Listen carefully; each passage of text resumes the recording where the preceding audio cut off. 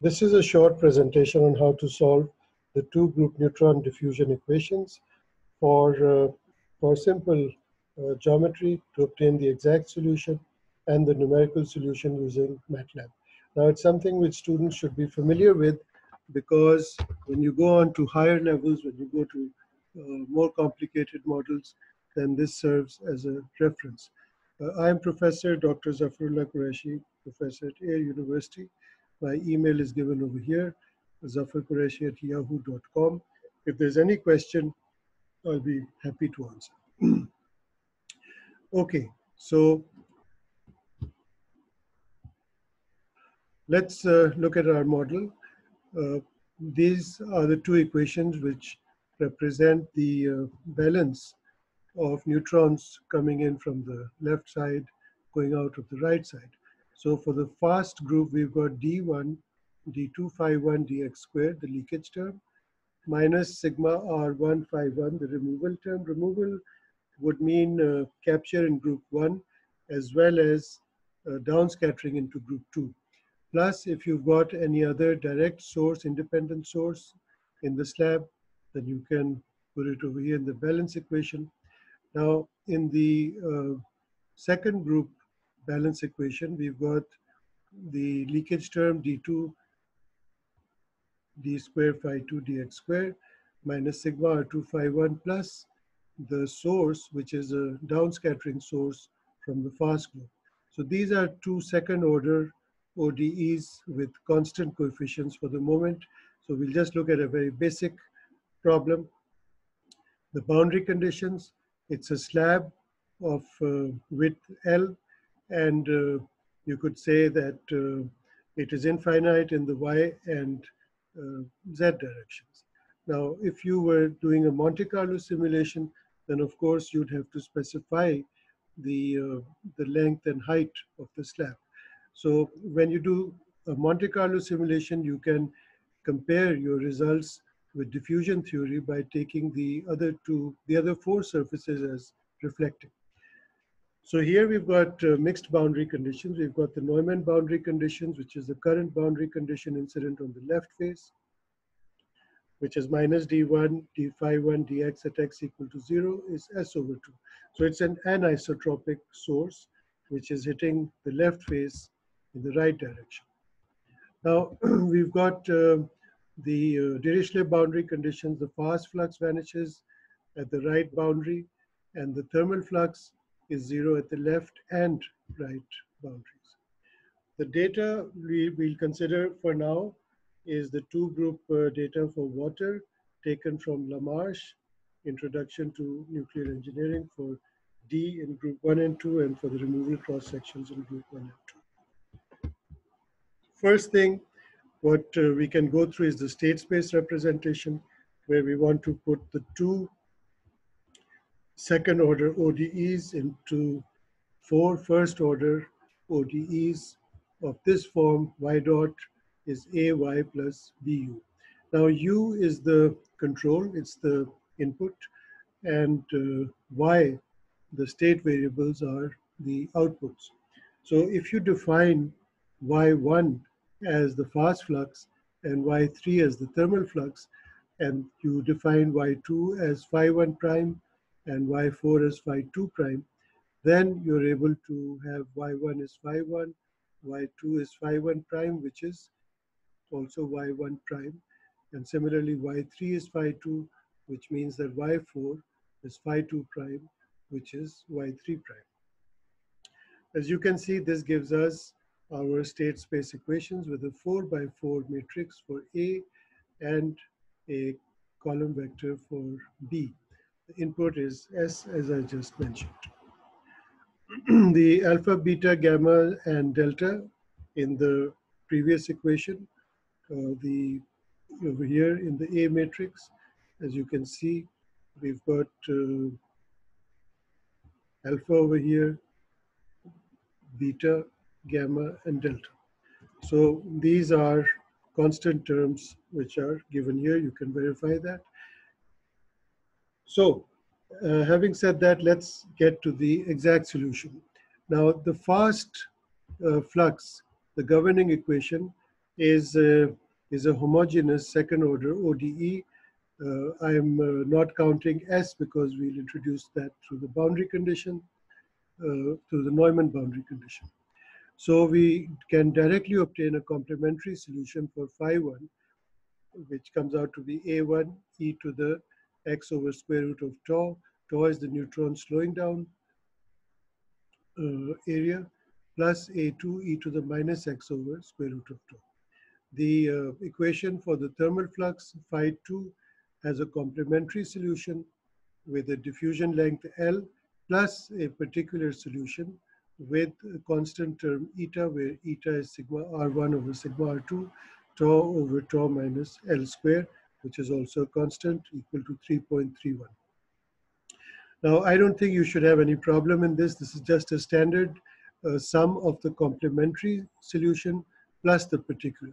The way I do particular solution is to use the derivative operator as a scalar, uh, put it in partial fractions, and then uh, bring the derivatives from denominator to the numerator, uh, write it down as a binomial series, and the terms cancel out uh, nicely, and you're easy, easily you'll easily obtain uh, the particular solution which is shown over here. So we've got four constants, A1, A2, A3, and A4. We've got four boundary conditions. When you solve, which I'll just show you in the MATLAB program, then you get these values for the four boundary conditions. Let's take a look at the MATLAB code. So in the state equations, so these are all comment lines. The first thing that you do is you uh, designate uh, x1, x2, x3, x4, uh, or y1, y2, y3, y4 as symbolic uh, uh, variables. And uh, we've got two equations over here. We've got four first order equations, two second order. So I just wrote down these equations, which I showed you in the previous slides. Uh, the material is water, so what you need to do is set the density of water, the molecular weight, the Avogadro number. The number density of water is the gram density times Avogadro number over the molecular weight. So the microscopic cross sections, which uh, we got from Lamarsh, you can now uh, obtain the macroscopic cross section sig R1, sig R2, tau, and L square. Beta was the term coming from the particular solution. So if you put a thickness of 20 centimeters for the slab, uh, and now a little change from the boundary conditions which said that the flux should be zero at the physical boundary uh, let's uh, do a little better. Let's try to find the extrapolation distances D1 and D2 for fast and thermal neutrons. So let's uh, take an approximation here that D1 is 0.7 times the mean free path uh, for the mean uh, free transport uh, path. So this comes out to be 0.7 sigma transport for group 1. And the boundary then becomes the physical boundary plus the extrapolation distance d1. And what we'll say is that the fast flux vanishes at the physical boundary plus the extrapolation distance d1. So this is the matrix that you get and you can obtain the values for the four coefficients. The exact solution you can put down by defining two functions flux 1 and flux 2, which were shown on the previous slides to be a1 e to the x over square root of tau plus a2 e to the minus x over square root of tau. And phi 2 is a3 e to the x over uh, L2. L2 is the diffusion length plus a4 e to the minus x over L2 plus the particular solution beta times phi 1. Now, to obtain the exact solution between 0 and 20, uh, let's take uh, steps of 0.1 centimeters and evaluate both of these functions using the feval command of MATLAB. The first figure should give us the plots of the fast flux and the thermal flux, and we can put a legend over there to show which one is which.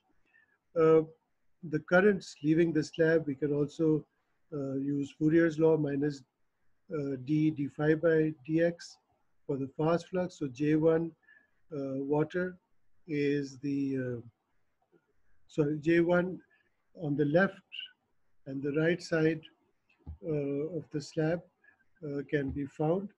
Uh, here, what we are just getting for information is the uh, leakage current J1 at the right side of the slab and J2 at the right slab, at the right surface of the slab also.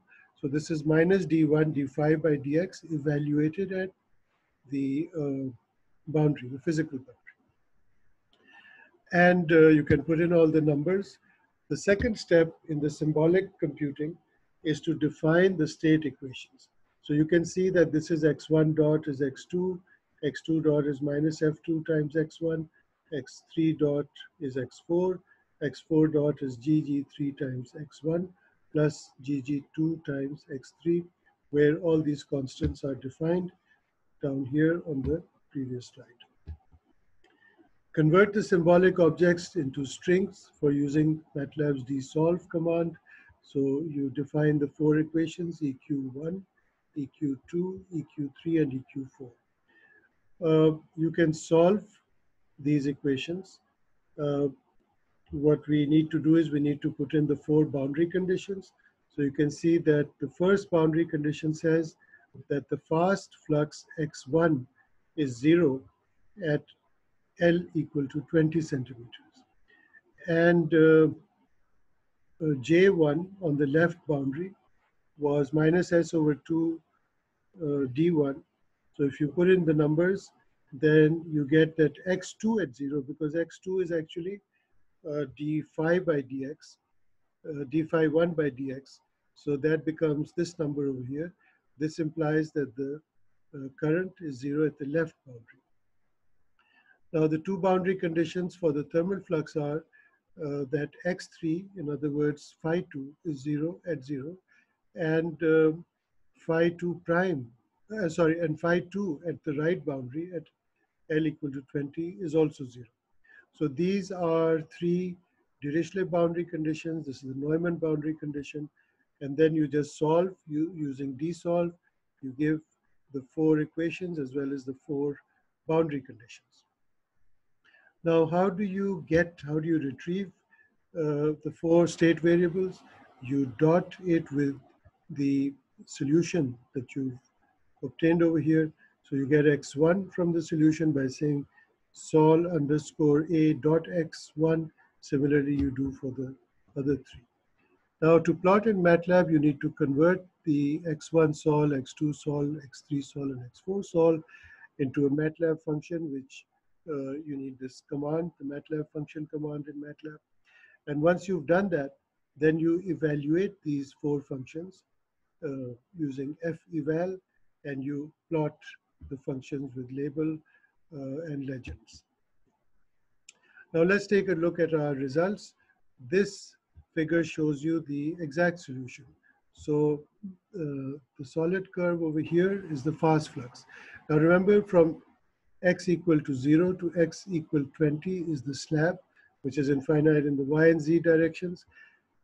Now the fast flux, because there's a fast source on the left boundary, so it starts with a finite uh, magnitude and comes down, it dies down until eventually it comes to little more than zero because we've said that it's zero at the extrapolated boundary. So this is what phi 1 looks like. Now, what does phi 2 look like? Phi 2, there was no phi 2 in the beginning, so it's zero. And as phi 1, as the fast neutrons collide with the water molecules, they give up energy and we assume that they come down into the second group. So the second group flux rises while the, while the fast group flux dies out. So one is dying out and these neutrons come down to the second group. So the second rises and then it reaches a peak and then again begins to fall until it comes to zero at the extrapolated boundary. So this makes sense. It's uh, acceptable physically. We can say that this is what it must be. Now let's compare this with the MATLAB solutions. Now, these are the four state variables, x1, x2, x3, and x4. Uh, x1, which was in the previous slide, phi 1, we get the same function. Uh, x3, the blue one, which is phi 2, you can see it starts from 0, it rises. Now, it's not a very good continuous function because remember, we took a step size of 0.1. If you take a step size of 0.01 or better, then you will not get any uh, straight lines, you'll get a very nice continuous curve over here. So this is x1, in other words, phi 1. This is x3, in other words, phi 2. And now let's take a look at the red one. The red one is x2. x2 is phi 1 prime. Now, phi 1 prime started as a negative number because we said that minus d1 phi 1 prime is s over 2.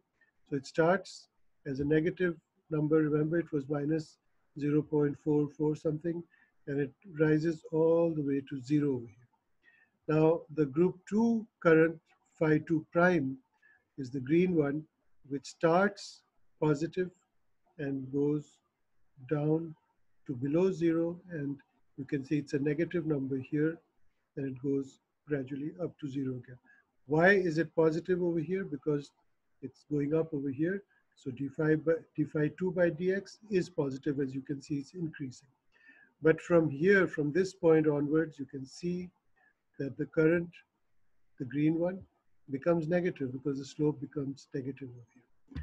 So this is a way of solving uh, these equations using MATLAB. It's a very uh, useful tool. Uh, this was an easy problem, so we were able to get an exact solution. But if you were to say that the coefficients were not uniform, if, if you were to investigate the effect of non-uniformities or of mixtures. For example, if you were to make a radiation shield with uh, a mixture of a low Z material such as uh, water and a high Z material such as tungsten or lead or iron, as is done in radiation shielding, because you need a low Z to uh, slow down the fast neutrons, and then you need a high Z to remove the gammas that were produced uh, during the slowing down of the neutrons in the low Z material. So if you do not use a low Z and high Z material, then of course you'll get a very high gamma dose because then there's nothing to capture the gammas. So a good neutron absorber is a low Z material because uh, the mass is not very different uh, from neutron, a low Z mass. Hydrogen and nitrogen are very close to each other, so there's a maximum energy transfer possibility in collisions over there. But the, the high Z uh, nuclei have much higher uh, atomic uh, mass number than neutrons. So uh, there cannot be a lot of energy transfer.